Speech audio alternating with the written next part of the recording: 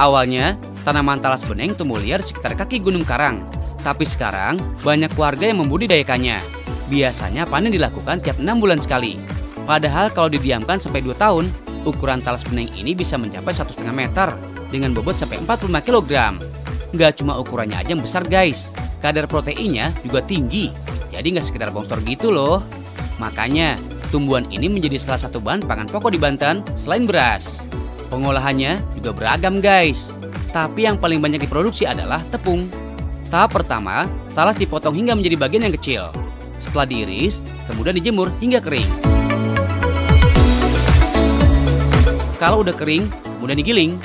Tuh, jadi deh tepung dari talas koneng.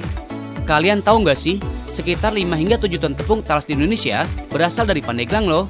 Karena setidaknya ada 2.400 kepala keluarga di sini yang menanam talas beneng. Nah, karena udah berbentuk tepung, pasti bisa diolah jadi makanan dong. Sekarang kita bikin pizza dari tepung talas yuk.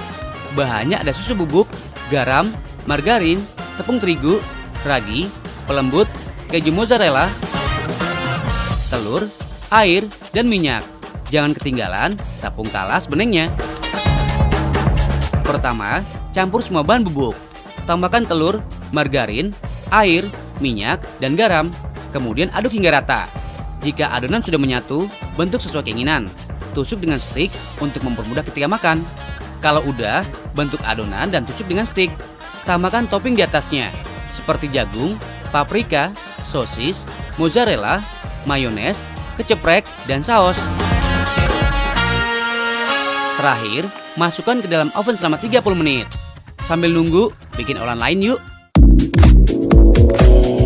Kali ini buat dessert. Bahannya adalah prisataro dan banana. Kemudian susu full cream, kental manis, gula, garam, serta talas yang udah direndam dalam air garam. Campur semua bahan ke dalam blender.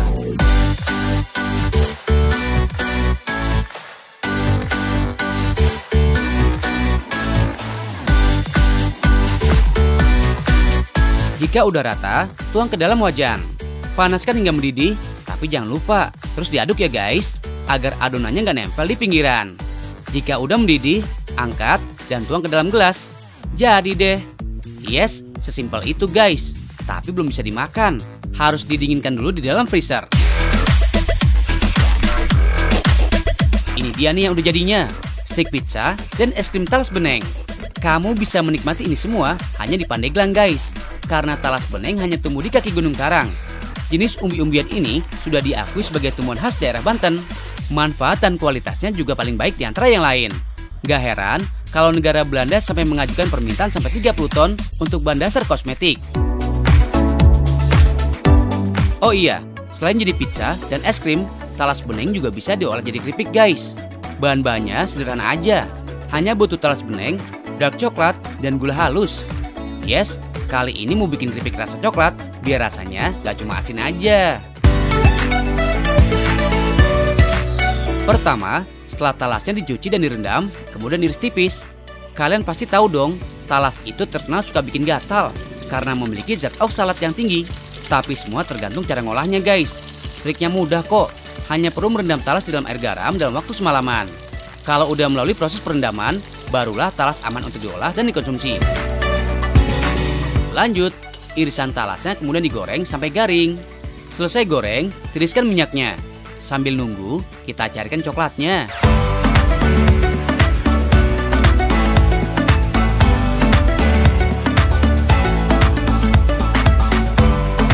Udah mau jadi nih guys, tinggal campurkan keripik dengan hot coklat.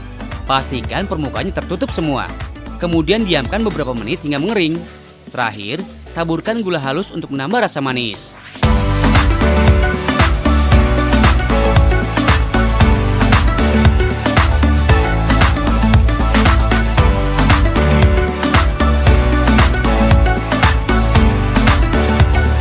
Usaha keripik talas coklat ini dimulai pada tahun 2017. Dulu hanya iseng dilakukan oleh Teh Yuli karena dapat tugas kampus.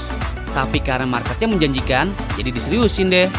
Apalagi dengan inovasinya, wanita muda ini berhasil memenangkan juara harapan 3 dalam kompetisi nasional Youth Entrepreneur Spirit Competition. Dalam sebulan, Teh Yuli menggunakan 30 kg talas untuk memproduksi keripik talasnya. Satu bungkusnya murah banget guys, cuma 15 ribu. Udah gitu, kamu bisa request untuk dibuatkan buket.